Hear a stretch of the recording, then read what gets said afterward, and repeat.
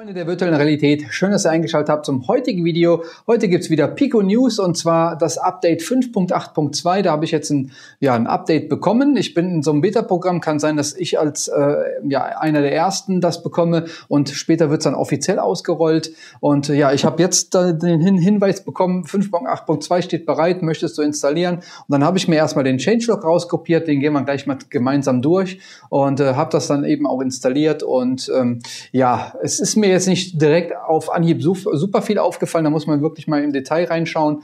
Ähm, deshalb auch der Changelog. Ja, schauen wir gleich gemeinsam mal in den Changelog rein. Äh, bevor jetzt Fragen kommen in den Kommentaren oder sonstiges, äh, warum ich hier, hier Pflaster habe, ähm, ja, auf der Nase habe ich eine Hautveränderung gehabt und meine Hautärztin hat gesagt, das sollten wir definitiv dann mal abklären lassen und äh, dann wurde mir hier eine Hautprobe entnommen. Äh, die ist jetzt eingeschickt worden und äh, jetzt muss ich abwarten, ob es ähm, ja was Gutes oder was Böses ist. Und äh, ja, die Meldung habe ich wahrscheinlich ja Ende der Woche, wenn alles gut läuft, dann weiß ich auch äh, Bescheid, wie es weitergeht. Und ähm, ja, hier wurde mir dann direkt äh, was mit weggemacht, was nichts Schlimmes war. Aber äh, ja, wenn man schon mal unter Messer liegt, kann man dann äh, auch mal direkt was anderes noch wegmachen lassen. Von daher habe ich das dann direkt machen lassen. Ja, jetzt heißt Daumen drücken. Das könnt ihr auf jeden Fall für mich machen, dass äh, alles in Ordnung ist, dass äh, was Gutartiges ist. Und dann kann es auch weitergehen. Ja, ich würde sagen, wir gehen direkt mal in den Chain-Block rein und ja, ich habe das hier mal rauskopiert und äh, schauen wir das Ganze mal gemeinsam an. Funktionsupdate 5.8.2, Symbolverbesserung für Android-Apps. Das Android-App-Symbol in der Headset-Benutzeroberfläche hat jetzt einen moderneren und verbesserten Look. Ich habe eben mal reingeschaut. Die Logos sehen irgendwie einen Tick anders aus. Ich bin mir aber jetzt gar nicht sicher, äh, was genau damit gemeint ist. Schauen wir denn äh, ja mal rein, wenn es dann direkt auffällt. Ja, dann haben wir ja Kompatibilitätsverbesserung für Android-Apps. Ein Problem, das in einigen Apps Anzeigeprobleme verursachten, äh, wurde behoben. Ja, ist natürlich auch äh, sehr, sehr wichtig. Dann haben wir hier Verbesserungen für den Gestenalgorithmus und die Präzision der Handverfolgung, verbesserte Gestenkompatibilität für verschiedene. Schauen wir jetzt weiter rein. So,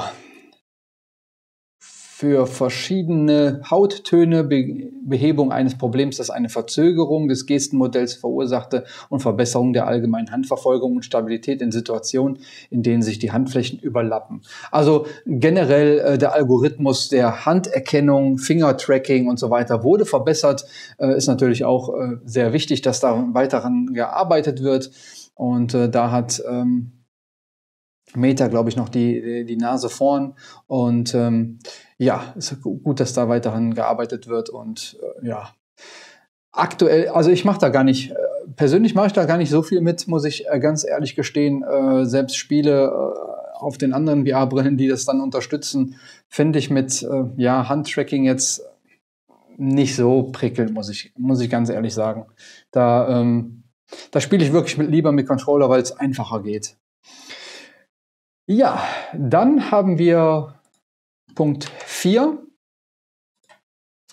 Ruhezustand hinzugefügt. Wenn der Benutzer in den Schnelleinstellungen auf Power klickt, wird jetzt die Option Ruhezustand angezeigt. Sobald diese Option ausgewählt wird, schaltet sich der Bildschirm sofort aus und das Headset wechselt zwei Minuten später in den Ruhezustand. Also wir haben jetzt hier so einen äh, Standby, wo äh, der Energiesparmodus wahrscheinlich auch aktiviert wird, Display wird ausgeschaltet und äh, so kann es nicht passieren, dass man ja eventuell dann die Brille nimmt und merkt, oh, Mist, Akku leer, äh, ist immer gut. So ein Ruhezustand ist immer super. Dann hat man das auch schnell aufgelegt. Also ich fahre das Ding immer runter äh, und äh, mache alles manuell, weil dann weiß ich, das Ding ist aus, spart Akku und äh, ich kann das Ding nehmen. Also es ist mir mit der Meta sehr oft passiert, äh, obwohl die ausgeschaltet oder im Standby war, dass ich die angezogen habe nach weiß ich nicht, drei, vier Tagen und das Ding war leer. Keine Ahnung, warum, wieso, weshalb, ähm, hat sich in Standby irgendwas leer gezogen. Das hatte ich nicht nur einmal. Ist mir mit der Pico jetzt zum Glück noch nie passiert, weil ich die dann meistens auch wirklich ausschalte, ab und zu auch nur in so einer Art Standby. Aber ja, gut, dass es diesen Ruhezustand jetzt auch gibt. Und dann haben wir Punkt 5, IPD-Werteanzeige. Da gehen wir jetzt mal äh, ja, mal ganz drauf rein. Ähm, IPD-Werteanzeige hinzugefügt. Aktuelle IPD-Werte werden jetzt im Bereich der Schaltfläche IPD-Anpassung in den Schnellanstellungen angezeigt. Wenn die IPD angepasst werden muss, können die Benutzer ihres, ihren aktuellen IPD-Wert auf diesem Bildschirm sehen und entscheiden, ob Anpassungen erforderlich sind. Nur Pico 4 Pro und Pico 4.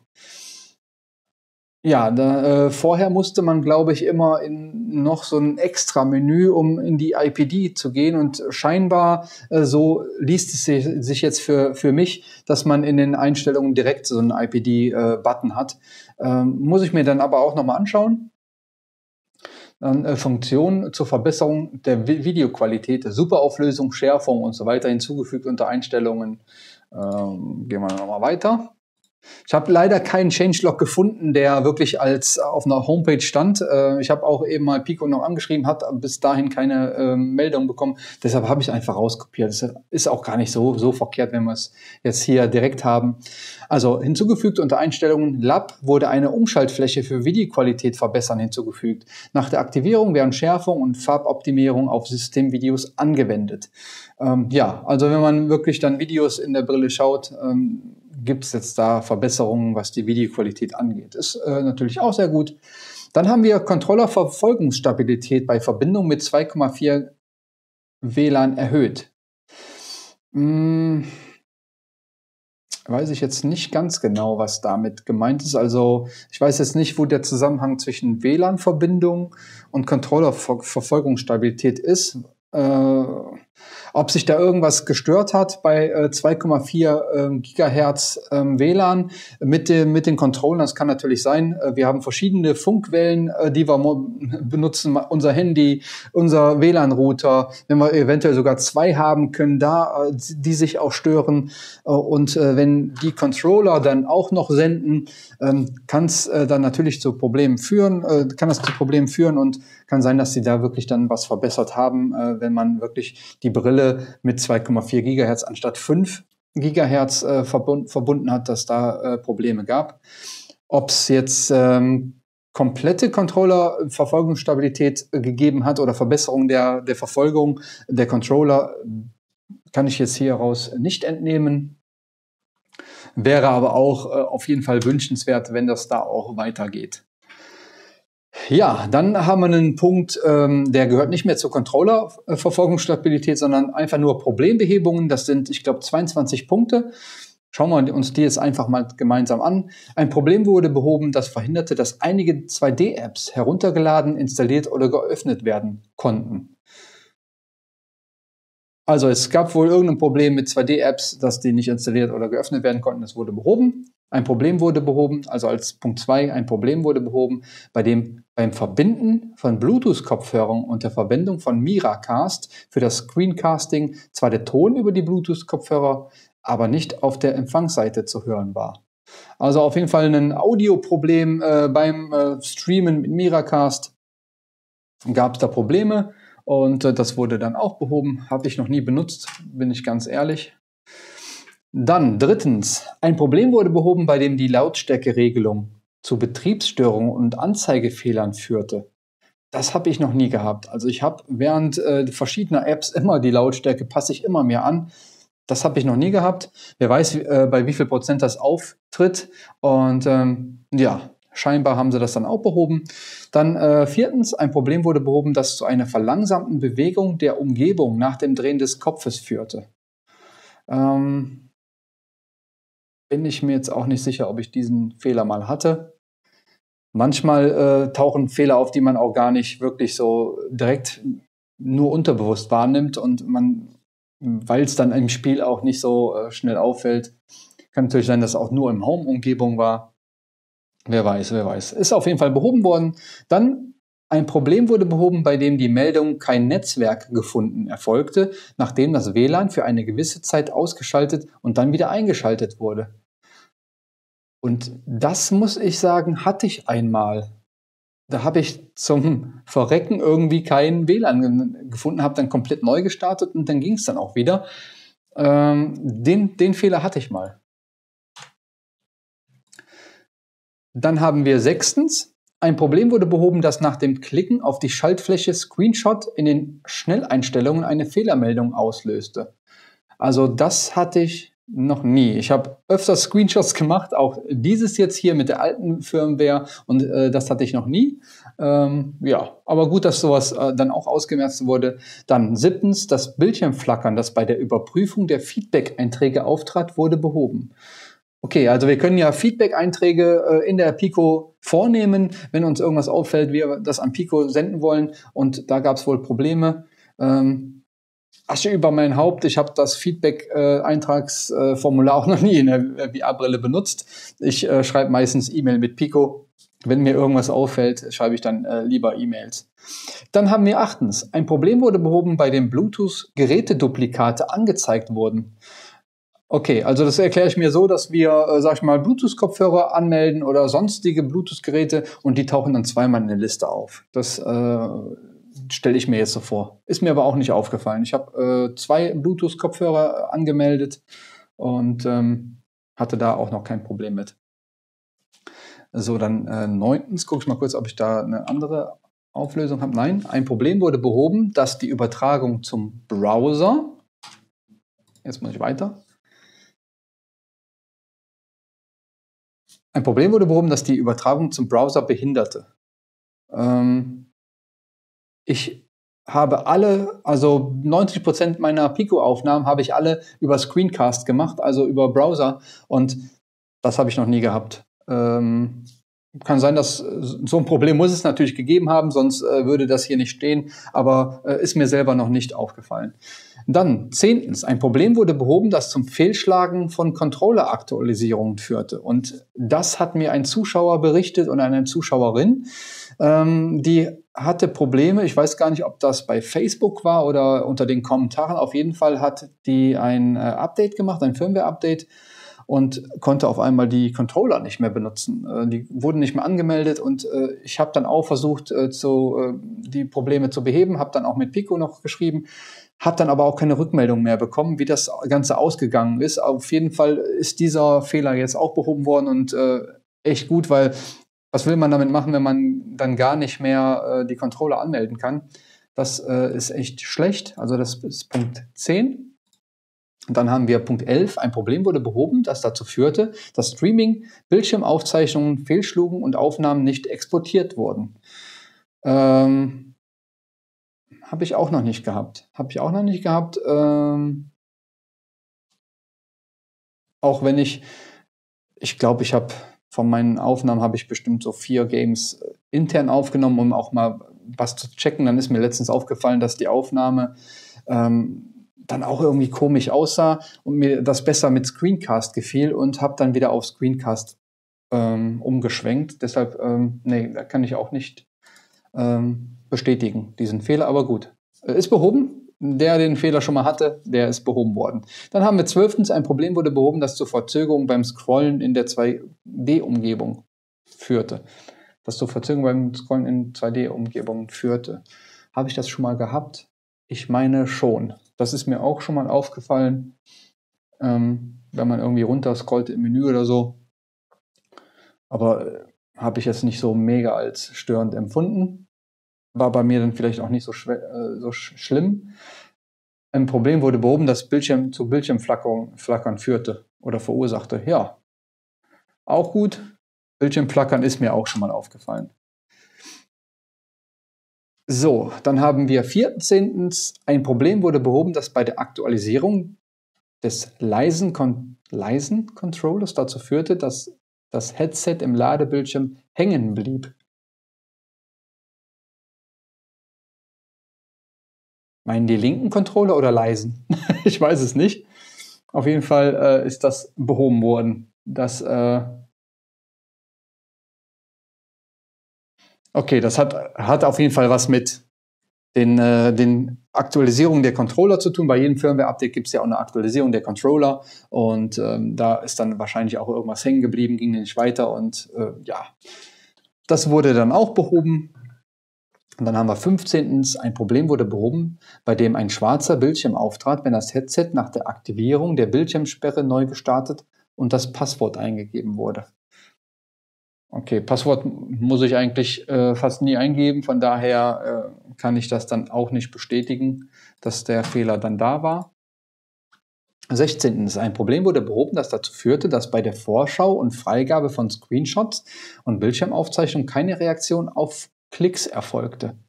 Okay, auch, auch nicht schlecht, der Fehler. Also da sieht man mal, wie viele Fehler wirklich dann auch gemeldet werden, die man gar nicht so wirklich äh, wahrnimmt. Könnt ihr gerne mal unter die Kommentare schreiben, ob ihr diese Fehler alle schon mal hattet oder welch, welche der Fehler ist euch schon mal aufgefallen. Gerne mal unter die Beschreibung äh, Kommentare damit. Ähm, Würde mich auf jeden Fall mal interessieren, was ihr davon schon mal wahrgenommen habt. Dann 17. Ein Problem mit der Anzeige von Symbolen wurde behoben, das auftrat, wenn die Vorschauseite für Bildschirmaufzeichnungen stumm geschaltet war. Auch nicht schlecht. Also behoben. Dann haben wir 18. Ich schau mal kurz, was ich da, da habe ich ein komplettes Bild von. Ein Problem mit dem Casting-Bildschirm wurde behoben, das dazu führte, dass er nach der Anzeige des Pop-up-Fensters für die Mikrofonberechtigung schwarz wurde. Okay. Okay, sagt mir auch nichts, der Fehler, habe ich auch nicht gehabt. Ein Problem mit Screenshots wurde behoben, das zu falsch skalierten Miniaturbildern führte. Okay, habe ich vielleicht gehabt. Ich mache ab und zu äh, Screenshots, äh, ist mir aber auch nicht wirklich aufgefallen. Da bin ich nicht sensibel genug vielleicht, um sowas dann zu merken. So, dann haben wir noch 20. Äh, da haben wir auch ein ganzes Bild von. Ein Problem wurde behoben, dass die Anzeige einer Warnmeldung verhinderte, wenn die IPD-Reduzierungstaste bei einem Wert von 62 mm weiterhin gedrückt gehalten wurde. Okay, das hatte ich noch nie, weil immer, äh, wenn ich dann runtergegangen bin, kam dann äh, auf jeden Fall auch so eine, so eine Warnmeldung. Das hatte ich äh, noch nie, aber ist auch ähm, ein Fehler gewesen. Dann haben wir 21. Ein Problem wurde behoben, das dazu führte, dass beim Aufrufen des Startbildschirms nach einer Online-Controller-Aktualisierung das Controller-Modell und der Zeiger nicht angezeigt wurden. Also die hatten scheinbar echt große Probleme, dass äh, deshalb auch die Rückmeldung da von äh, einem Zuschauer, Zuschauerin ähm, mit der Controller-Aktualisierung, da, da gab es wahrscheinlich einige Problemchen. Ah, wir haben sogar mehrere als ja, 24 haben wir sogar. So, dann haben wir 22. Ein Problem mit dem Videoplayer wurde behoben, das dazu führen, führen konnte, dass nach dem Klicken auf Vollbit und gleichzeitigem Drücken der Einschalttaste auf dem zum Ausschalten des Bildschirms der Bildschirm auch nach dem erneuten Aufwecken des Bildschirms schwarz blieb. Boah, was für eine Kombi. Also ich, ich drücke in der Brille im Videoplayer Vollbild und drücke gleichzeitig die Einschalttaste zum Ausschalten des Bildschirms. Also okay, also ähm, Videoplayer habe ich nicht oft benutzt. Äh, einmal zu einem Video und dann habe ich auch nie mehr dazu äh, Zeit gehabt. Also bei mir ist echt Zeit ein echt großes Problem. Ich würde echt viel mehr gerne zeigen zu mehreren Brillen, aber äh, ich habe einfach auch privat viel zu viel um die Ohren und ähm, kommen leider nicht zu allem. Also da müsst ihr äh, mir da auch irgendwie äh, ja, Verständnis für haben. Äh, ich, mir macht's mega viel Spaß. Ich könnte jetzt auch ein Video machen, dass ich aufhöre. Ähm, Mache ich aber nicht, weil es macht mir einfach mega viel Spaß, auch wenn ich äh, Zeitstress habe ab und zu. Äh, aber ähm, YouTube macht mir einfach mega viel Spaß, äh, die Spiele zu testen, Hardware zu testen. Und ähm, ja, deshalb bleibe ich auch dabei. Und ich habe jetzt auch leider äh, keine Quest 3 mir kaufen können, weil ich meine Heizung erneuern musste. Und äh, ja, Ne? Money makes the world go round und äh, ohne Money keine Quest 3. Die hätte ich auch mega gerne auf meinem Kanal getestet. Ich bin kein äh, Pico-Fanboy, ich bin kein äh, Pimax-Fanboy oder sonstige Meta-Fanboy. Ich bin ein VR-Fan und äh, ich, ich liebe VR, von daher ist mir das egal, was da für ein Label draufsteht wenn ich mir die Brille anziehe und mir gefällt die, ist mir das egal, von welchem Hersteller das Teil ist. Und äh, mir muss es gefallen, mir muss es Spaß machen. Und äh, mir macht VR Spaß, mir macht, machen die Tests Spaß, äh, egal ob ich jetzt Hardware- oder, oder Software-Tests mache. Und ähm, ich versuche dann nach meinem besten Wissen und Gewissen dann euch auch ein Review zu präsentieren, werde positive, negative Punkte auch immer benennen. Und ähm, ja, ich glaube, das sieht man an meinen letzten Reviews, dass die auch vollkommen in Ordnung waren. Mein Pico äh, mein PSVR 2 Review, ähm, da habe ich alles genannt, was mich so stört. Und ähm, ja, das nur mal dazu. Ja, also diese geile Kombi vom Problem vom Videoplayer äh, ja, ist auch behoben. Dann haben wir Anomalien im Room Capture Vorgang wurden behoben. Okay, Anomalien im Room Capture. Ähm, ja, also da mir die Durchsicht von Room Capture sowieso nicht so wirklich gut gefällt, bisher bei äh, keiner VR-Brille. Äh, die Pico, die äh, Durchsicht ist okay, aber mehr auch nicht. Und ähm, da soll die Quest 3 ja jetzt äh, besser sein und ähm, habe ich leider noch nicht testen können, aber alle anderen Brillen, da gefiel mir das nicht so und äh, mir ist dann auch äh, sowas nicht aufgefallen, Anomalien, dass wir da irgendwie Artefakte oder sowas haben. Ähm, ja, weiß ich nicht. Ja, dann haben wir Punkt 24, der ist eigentlich bei jedem Firmware-Update dabei. Systemleistung und Stabilität wurden verbessert. Ja, also das äh, ist relativ viel, muss ich sagen, was da behoben wurde. Äh, ich weiß nicht, inwieweit die ganzen Verbesserungen, also das waren jetzt eine Riesenliste an Problembehebungen, äh, was jetzt an Verbesserungen wirklich äh, super neu da drin ist, was für uns dann ja super ist, weiß ich nicht, kann ich jetzt nicht so wirklich beurteilen. Aber ähm, ja, auf jeden Fall ist da einiges passiert und das ist das Wichtigste, dass da wirklich dran gearbeitet wird. Und das macht Pico und das merkt man auch. Die Firmware-Updates kommen auch meiner Meinung nach ähm, ja, relativ zeitnah, immer, ist es alle, alle, jeden Monat, jeden zwei Monate. Ich bin mir jetzt da gar nicht sicher, weil die Zeit so rennt. Aber ich glaube auf jeden Fall alle zwei Monate kommt dann Firmware-Update raus und es wird auch was verbessert. Und ja, also ich kann mich da nicht beklagen, muss ich sagen. Und äh, ich bin da zufrieden mit den Fortschritten. Äh, ich, ich habe immer gesagt, man muss Pico da Zeit geben. Die werden den Vorsprung von anderen VR-Herstellern nicht in äh, so kurzer Zeit dann komplett tilgen oder neutralisieren können. Das, das funktioniert nicht. Und ich lese so oft, äh, wenn Leute fragen, ja, was soll ich mir kaufen? Eine, eine Quest, eine, eine Pico. Und äh, ja, dann kommt von sehr vielen Leuten, ja, Quest, weil die Bibliothek ist voll, Pico ist leer. Und das stimmt einfach nicht. Am Anfang war die Pico-Bibliothek sehr ziemlich leer. Das, äh, da bin ich auch dabei. Aber die haben schon viel, viel, viel getan. Und äh, also wenn man die ganzen Spiele wirklich testen will oder zocken will, die in der äh, Pico-Bibliothek drin sind, dann aber, äh, dann habt ihr echt viel Zeit, muss ich, muss ich ganz, ganz klar sagen. Also äh, die haben da gut nachgelegt und legen auch immer noch nach. Also äh, da ich kann nicht behaupten, dass da äh, wenig kommt. Klar, die Quest-Bibliothek ist immer noch voller. Da, äh, klar, das, wie gesagt, das wird man nicht in, in ganz kurzer Zeit neutralisieren können, das ist auch ganz klar. Und die, die Firmware-Vorsprünge, die Meta jetzt hat, die wird Pico auch nicht super schnell aufholen können. Und ähm, das ist ganz klar. Ich bin gespannt, wenn wirklich jetzt der, der Nachfolger kommt von der Pico 4, was dann wirklich auch firmware-technisch drin ist, äh, was für Verbesserungen wir haben. Und dann kann man erstmal wirklich vergleichen Quest 3 und Pico. Und äh, ich brauche jetzt keine Quest 3 mit der Pico 4 zu vergleichen. Das macht meiner Meinung nach keinen Sinn, weil die Hardware zu unterschiedlich ist und äh, die Quest 3 halt einen komplett neuen Chipsatz drin hat, der auch viel mehr Leistung bringt. Von daher brauche ich das da gar nicht mit vergleichen. Das ist wie Äpfel und Birnen. Kann man auch nicht vergleichen, wie man so schön sagt. Also äh, auch noch mal zu meinem letzten Video äh, von den von den Pico Leaks. Äh, da habe ich so meiner Meinung nach aus so krasse Kommentare bekommen, die schon in in Bereich Pico Hate gingen oder oder Meta Fanboy und ich, ich, ich verstehe es nicht. Ich verstehe es nicht. Äh, wir können uns alle freuen, dass VR weitergeht, nach, nach vorne geht und äh, ja, ich habe natürlich extra einen, einen Titel genommen, das macht jede, fast jeder YouTuber, der, der muss halt ein bisschen reißerig klingen und wird die Quest 3 gegrillt. Ähm, ich fand den eigentlich ganz witzig, äh, den, den, den Kommentar oder den Titel. Von daher habe ich den auch genommen. Und äh, das war aber auch rein nur von den Specs her. Wenn man sich die Specs ansieht, äh, kann man sagen, ja, da, da wird äh, der, der, die Quest 3 gegrillt. Und äh, das war aber auch mehr just for fun als alles andere. Also ich, ich bin VR-Fan, wie eben schon erwähnt, und ich, ich mag alle VR-Headsets. Und äh, ja, mir muss das Spaß machen. VR muss Spaß machen, die Brille muss Spaß machen.